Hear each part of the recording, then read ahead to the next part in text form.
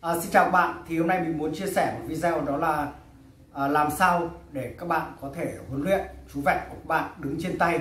Các bạn à, lâu à, bởi có những chú vẹt thì à, à, nó còn à, nhát và các bạn mới mua về thì có thể nó sẽ nhát. Cho nên là khi mà các bạn muốn nó đứng trên tay lâu thì nó cứ à, nhảy bổ nhào xuống. Ví dụ giống như chú vẹt này chẳng hạn. Thì à, làm sao để các bạn khắc phục tình trạng này?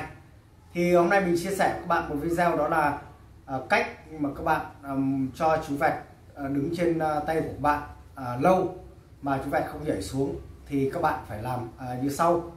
Chắc chắn khi mà vi xem video này thì các bạn sẽ khắc phục được tình trạng này.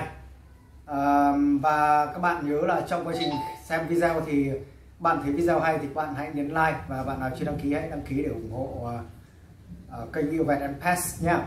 Đặc biệt là có nút chuông bên cạnh ờ, sau khi bạn đăng ký thì bạn nhấn vào nút chuông thì các bạn sẽ không bỏ lỡ những video mới nhất. À, xin chân thành cảm ơn các bạn. Tay. Thì bây giờ mình sẽ đi vào video nhé các bạn à, có một chú vẹt này à, khá nhát đây thì các bạn thấy rồi. Thì à, nó có thể là nó sẽ nhát. Khi mà các bạn cho đứng lên tay thì nó sẽ nhảy bổ nhào xuống thì à, cái đầu tiên mình muốn nói là các bạn à, sẽ phải chuẩn bị thức ăn. Ví dụ như là à, cái bắp non này là chú vẹt cũng khá yêu thích. Cái thứ hai đó là thức ăn. Thức ăn thì ở đây thì mình có cái hướng dương. Hướng dương và cái hạt láng. Để cho chú vẹt thích cái loại nào thì chúng ta sẽ dùng loại đó để chúng ta thưởng cho chú vẹt. Thì khi mà chú vẹt đứng lên cầu như thế này, thì đầu tiên là các bạn sẽ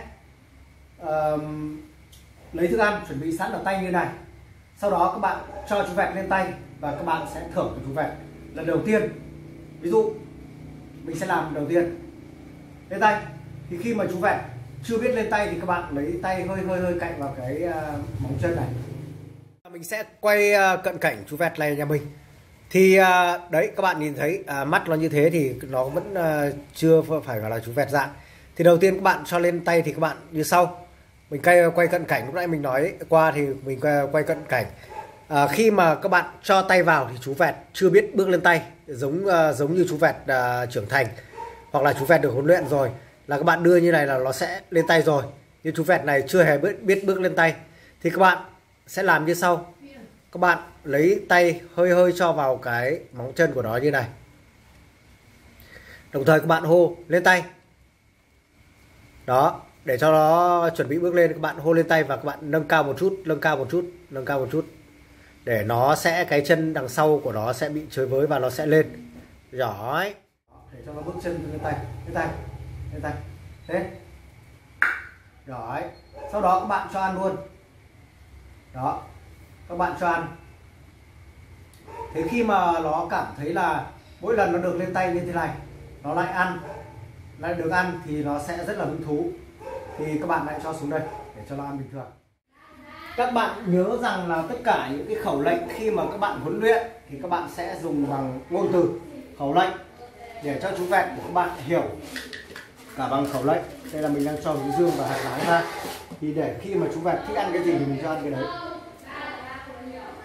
Đó bây giờ mình tiếp tục theo. Thì uh, khi chú vẹt chưa biết bước lên tay thì các bạn cũng sẽ để vào tay vào móng nó như vậy thôi. Các bạn hổ lên tay giỏi lắm. Đó lúc này các bạn cho ăn luôn. Các bạn thưởng cho nó một món ăn. Đó, để cho nó ăn ở trên tay các bạn. Tức là cho nó ăn như thế này để cho nó uh, nó, nó nó nó có một cái um, uh, không để ý về cái tay của các bạn. Đó nó cứ ăn như này là đã đạt cái thời gian lâu rồi. Đó thì khi nó ăn hết rồi thì các bạn lại thả xuống để tí nữa các bạn cho lên lại từ đầu. Con số đây số số tất cả các khẩu lệnh đều à, các bạn đều phải áp dụng và các bạn nói khi mà các bạn huấn luyện chú vẹt. Và tiếp theo, nếu chú vẹt có tên thì các bạn nhớ là dùng tên nhé ví dụ như à, chú vẹt này ví dụ đặt tên là Kitty chẳng hạn thì các bạn sẽ nói Kitty, lên tay. Thì bây giờ mình à, sẽ tiếp tục. Kitty, lên tay. Giỏi lắm đó các bạn à, khi mà dần dần chú vẹt đã quen rồi thì các bạn chỉ cần đưa tay nó sẽ bước lên các bạn không phải cạnh vào cái mà, mà bàn chân và cái móng chân của nó nữa. Đó thì các bạn lại cho nó ăn. Các bạn lại cho ăn. Đó. Bạn cho nó ăn trên tay bình thường để cho nó không để ý và nó cứ đứng trên tay của bạn. Và các bạn tăng thời gian lên ví dụ uh, nó đứng trong khoảng uh, đầu tiên là hai ba giây các bạn sẽ cho xuống rồi. Ba bốn giây các bạn cho xuống rồi sau đó bạn tăng lên là năm sáu giây 7 8 giây rồi 10 giây và tăng dần lên. Đó là cái thời gian đứng trên tay. Và dần dần khi chú vẹt đứng trên tay rồi là chú vẹt sẽ không nhảy xuống nữa. Đó chú vẹt cứ hết uh, ăn ăn hết thì các bạn lại cho xuống để bạn huấn luyện như vậy. Ở cái bài tập này thì các bạn um, có thể là uh, dạy chú vẹt được hai cái vấn đề. Đó là một là bước lên tay hai là Ờ, có thể đứng trên tay ờ, các bạn lâu dài để chú vẹt không tìm cách nhảy xuống. À, có rất là nhiều các bạn hỏi là tại sao vẹt đứng lên tay cứ tìm cách nhảy xuống uh, sợ và nó nhảy xuống và nó đi chú vào chỗ. Đó là cái mà cách mà các bạn cần phải áp dụng cái bài này để các bạn có thể áp dụng cho chú vẹt của bạn và chú vẹt sẽ bạo dạn hơn và sẽ đứng trên tay các bạn lâu hơn. Và dần dần nó sẽ quen với cái việc đứng trên tay của bạn. Thì tiếp tục. Lên tay đấy. Giỏi lắm. Đó bạn lại tiếp tục thưởng cho nó.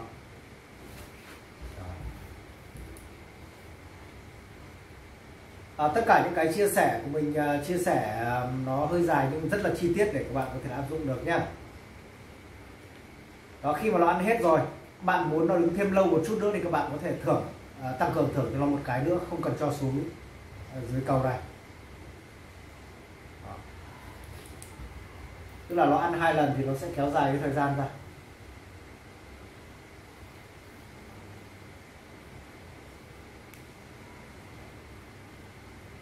Được lắm xuống đó.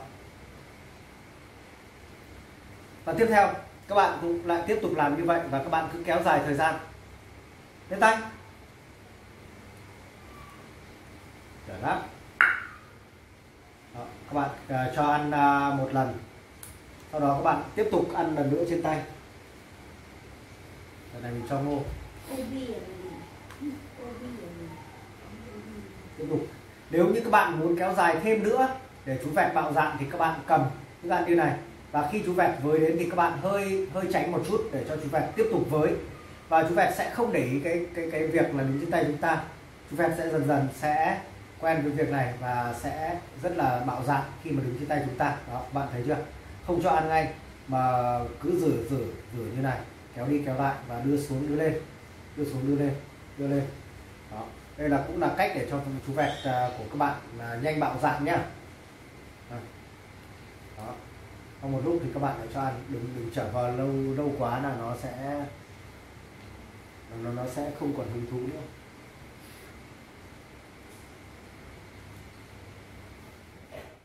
Thêm một chút nữa đó là khi mà các bạn muốn uh, huấn luyện bài tập này thì các bạn phải uh, tức là phải tập cho chú vẹt của các bạn được. Cái việc là chú vẹt đã ăn hạt uh, ờ, từ tay của các bạn rồi các bạn mới tập được bài này. Còn nếu nó chưa ăn uh, được uh, từ tay của các bạn tức là nó chưa chưa bạo dạng lắm thì uh, bài tập này có thể là sẽ không áp dụng được.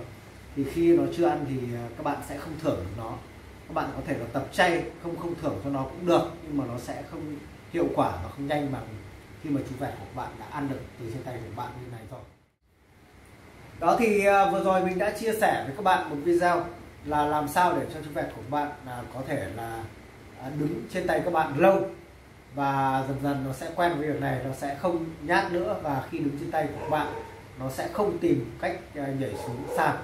Chính vì vậy các bạn hãy áp dụng video này để à, huấn luyện cho chú vẹt của các bạn à, có thể là đứng trên tay của các bạn.